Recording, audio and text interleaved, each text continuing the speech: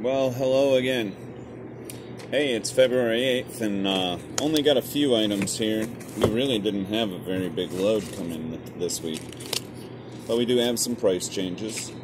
So we got Jack Links peppered, went from 269 to $2.89. That's 20 cent increase. Alright, we got some toilet paper here. $1.09 for Parade brand toilet paper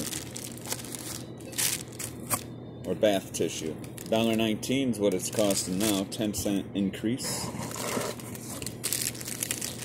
These are some Belvita blueberry bars. Went from 149 to 159. And Eclipse went from 149 and they're now a dollar 89 aside from that we had uh, gas went up. In the last seven days it went up 50 cents.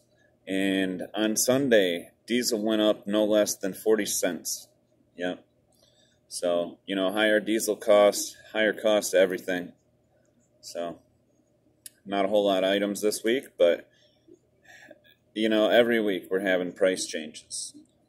So, hope you're adjusting accordingly. Do the things.